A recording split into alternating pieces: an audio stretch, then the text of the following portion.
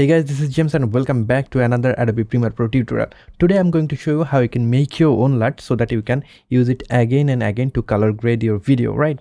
So here I have already opened a project in Adobe Premiere Pro and I have done the basic color correction. Remember that when you are making a LUT in Adobe Premiere Pro, you need to apply all the changes, all the color changes on a single Lumetri color effect. If I go to here in the effects control panel and if I show you, here is the basic correction Lumetri color effect. If I apply the changes here, so here is the Lumetri color effect and here we have already made some changes to color correct the video. If we use the same Lumetri color effect to color grade the video, it will again contain contains all of the information that we have made for color correction. So we don't want that. So let's make a another lumetri color effect. If you go here in the lumetri color panel and from here you can click add lumetri color effect. That will again add another lumetri color here right?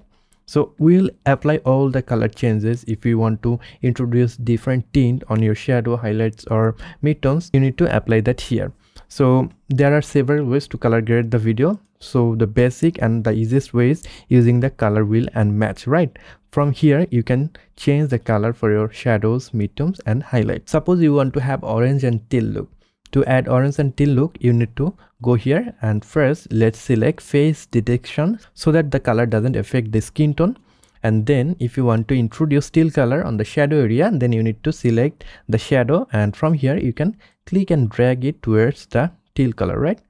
So you can see we have introduced teal color here on these images right? If i disable the effect you can see the changes. Now to compensate the color you need to add separate color. Usually when you are using teal color on the shadow area you need to use the yellow or orange color because that is the complementary color of teal color. If you see here in the color field the orange color is just opposite side of the teal color right? So to compensate the teal color we need to use orange or yellow color. I am selecting the orange color. If i increase the orange color you can see it has introduced orange color here on the uh, midtone section right? Again i'll decrease the teal color a little bit so that we have more teal look.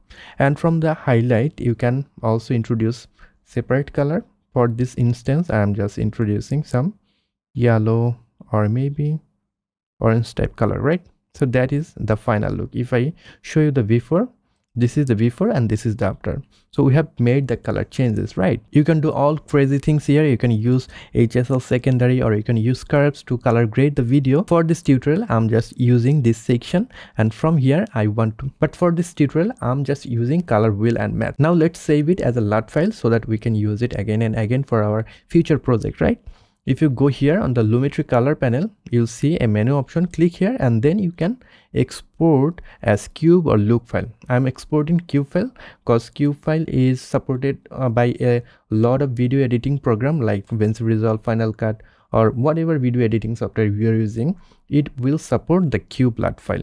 So i'm just selecting export cube then a dialog box will appear and from here you have to select where you want to save it. I'm selecting desktop and give it a name. Maybe name it james prince and save it.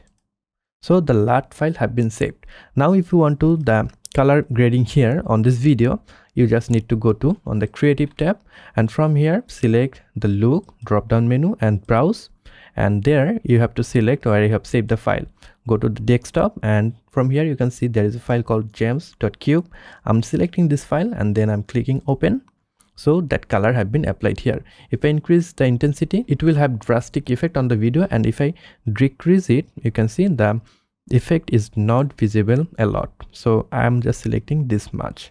So that is how that is how you can make lut in adobe premiere pro preset in adobe premiere pro so that you can use it again and again for your videos. And also if you are creative and if you are good at it you can sell the lut files. So that is all for today. I hope you have liked this video. If you have liked this video and learned something new from this one then you can give me a thumbs up. And if you're new to this channel want to learn adobe premiere pro video editing then you can subscribe to this channel to get more video just like this one. I'll catch you guys on the next one. Until then goodbye